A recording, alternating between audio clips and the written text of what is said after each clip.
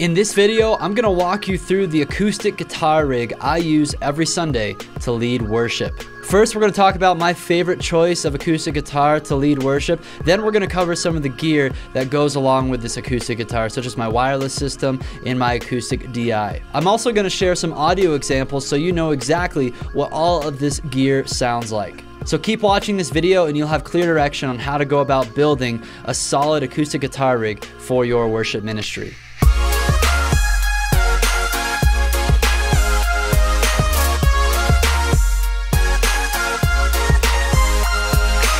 My name is Jake Gosselin with ChurchFront.com, helping you lead gospel centered and tech savvy worship. Make sure you subscribe to the channel so you don't miss out on any of our latest content to help you grow yourself and grow your worship ministry. I've been leading worship now for over a decade, and my go to instrument to accompany myself as I lead is an acoustic guitar. I have nothing against leading from piano or electric guitar or any other instrument. This is just my personal preference. I really feel so comfortable when I'm leading with acoustic because not only can I just play the actual chords of the song, but it also has a good percussive feel. Since I use my acoustic guitar so much every single Sunday, I wanted to unpack my acoustic guitar rig for you, and hopefully you'll have much clearer direction on how to build a rig for yourself. I want to be clear up front that this acoustic guitar rig is pretty pricey. I really wanted to invest a lot of money for some quality gear so that it would last me a long time and it would just sound great. So everything you're about to see in this video, including the guitar and the pedals,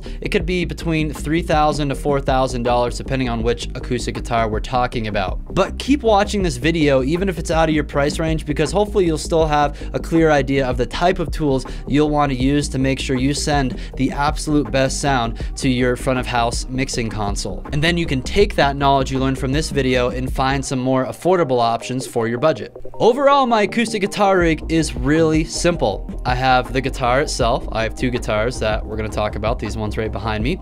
Then we have my strap, my capo. Uh, I have a wireless system to get the signal from my guitar to my pedals. Then on my pedal board, I just have that wireless system pedal, uh, and then we have the acoustic DI. So now let's dive into each one of these pieces of my guitar rig. First, let's talk about the most important piece of this rig, which is the guitar itself. I have two guitars. So my first guitar I ever had as a worship leader was an Ibanez acoustic guitar. I had a pickup built into it. I was about 15, 16 year old, years old, and it was a, like a $500 guitar. So it was a solid guitar. And you can get a lot of great solid acoustic guitars for less than $1,000 these days. Towards the end of high school, when I became a more competent musician, I was actually leading worship at my church as a volunteer, I became more serious about worship ministry. I felt like I was called to it and I knew that's what I wanted to pursue as a profession, as a career. So when I graduated high school, my grandmother, who's super generous, she actually bought for me this Taylor 614 that's sitting on the wall behind me. And this guitar has served me well for a very long time. It has a spruce top and it has a nice big leaf maple back. I just absolutely love this guitar. It has a really bright sound that cuts through the mix. It's great for leading worship. Then about four years ago, right when I landed my first full-time worship ministry job, I felt like I needed a change. I still really like my Taylor and I use it once in a while,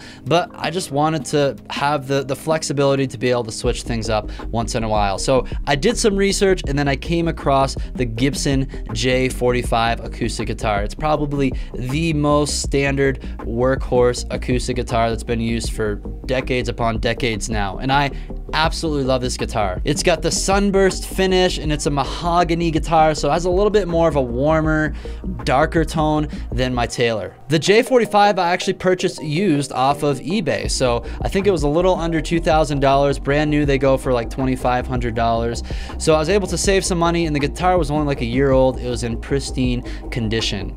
And the J45 comes with the LR Baggs Element pickup, which I think sounds really great. And now I want you to just hear the difference between these two guitars. I highly recommend these guitars for worship leaders if you have the budget for them. So I just want to play them back for you in case if you're considering purchasing one of them yourself. So first, let's listen to the Taylor.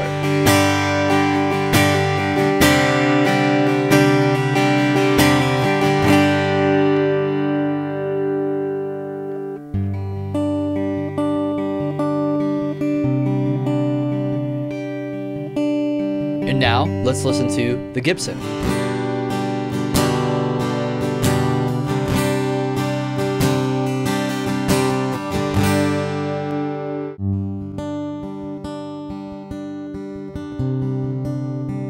So those are my acoustic guitars. I love them both and I have the flexibility to just choose which one I want depending on the, the flavor of guitar and tone that I'm looking for on, on any given Sunday. Now let's talk about the accessories. When it comes to guitar straps, I have pretty standard straps. My Taylor has like a nylon strap, the Gibson has a leather strap, really nothing special about the straps. For the capo, I like to use the G7th Performance 2, or I'll use Kyser capos as well. And when it comes to guitar picks, I really prefer the Fender celluloid medium thickness picks. They work great, it's a pick, what else can you ask for? Now let's move on to my pedal board.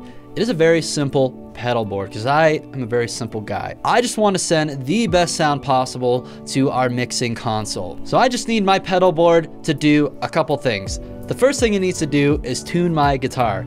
As a worship leader, I need to be able to quietly and discreetly tune my guitar, maybe if that's gonna be halfway through a worship set. The second thing I need my pedal board to do is transform my guitar's unbalanced signal to a balanced signal to send to our PA system. And the final thing I need my pedal board to do is add some slight signal processing so I can adjust the EQ, I can put a notch in there, and I can even boost the signal. That's all I want my pedal board to do. I know it's common practice out there for a lot of worship leaders to apply maybe some delay or reverb to their acoustic guitar. I think that can really come in handy if you're doing a lot of solo worship leading where it's just you and an acoustic guitar and you want to be able to fill out the sound a little bit more with that instrument. But in my case, I'm usually always playing with a band, so I just want to get a clean, straight up acoustic guitar signal back to our sound console. Now let's look a little closer at the pedals on my board. The first pedal is the Shure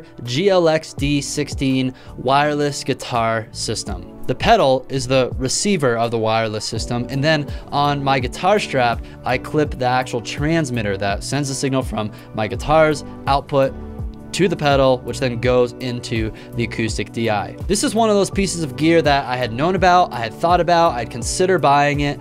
It's a pretty large purchase being $449. But now that I finally have it, I wish I would have got it a long, long time ago. They have come so far when it comes to wireless technology for guitars, and this system is awesome. It's super quick to set up.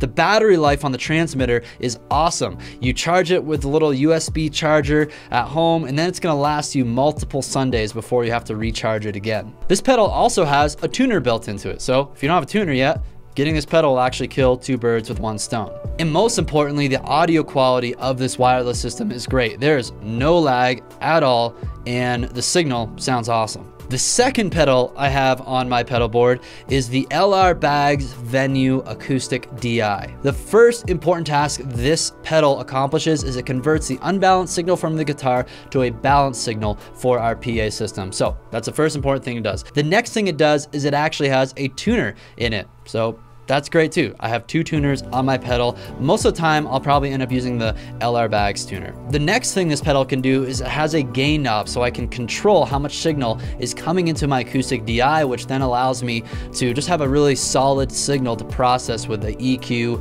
and the notch and, and all the other parameters that you have on this pedal. And that brings me to the next feature is the notch feature. Sometimes you have frequencies that your acoustic guitar is playing that can easily feedback with your sound system. And what the notch does is you can just adjust it and find that low frequency. Usually it's like a low to low mid frequency that causes a lot of feedback and it's gonna pull down the gain of that frequency band. That's really gonna clean up the sound of your acoustic guitar. You won't have feedback issues. Another thing you can do with this DI is set the EQ of your guitar. So you have control of the lows, the low mids, the high mids, and the highs. So you, you can really dial in the sound. And then another great feature about this pedal is the boost button. Maybe sometimes when you're just like finger picking and playing softly, you want to be able to send more signal to your sound console so your sound guy doesn't have to constantly ride the, the fader. So this allows you to hit that button, it's gonna boost the signal for them. And then when you start strumming again, you can remove that boost. I also want to note that LR Baggs makes a smaller version of this DI called the LR Baggs Session Acoustic DI. That acoustic DI does sound great. I've listened to some demos about it. It has this cool little saturate knob and and uh, compression knob and I may even try one of these out myself someday. Uh, but for the most part, I found that the price increase to get the venue, um, I feel like it was worth it uh, over the session with all the additional features that you get with the venue, like the boost button and the built-in tuner and just more extensive EQ. So that's why I went with the venue rather than the session. So the final step of the signal flow is to take the XLR output from that Venue DI and send it to the stage box that we have that goes into our sound system. So now I just want to play for you some footage and some audio so you can actually hear what this acoustic guitar sounds like uh, within the context of a worship band. Oh,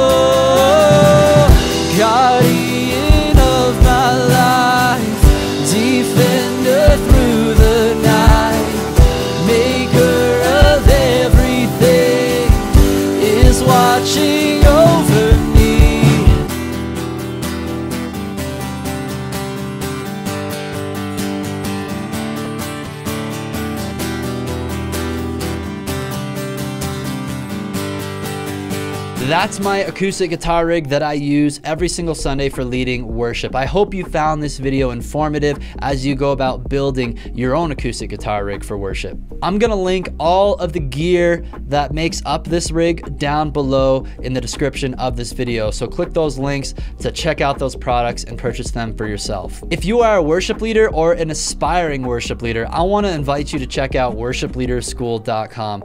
You're gonna find an extensive online course library of completely on-demand video courses that are gonna help equip you as a worship leader, whether it's pastorally, musically, or technically.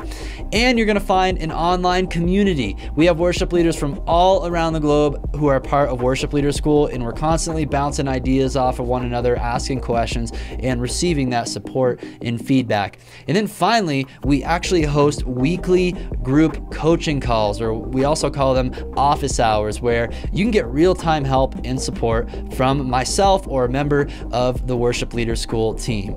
So go to worshipleaderschool.com to apply now. Thanks so much for watching this video. If you found it helpful, hit that thumbs up button and share it with your other friends in worship ministry. You could check out some related videos right over here. And don't forget to subscribe to the Church Front channel so you can continue to receive all of our latest content to help you grow yourself and to grow your church.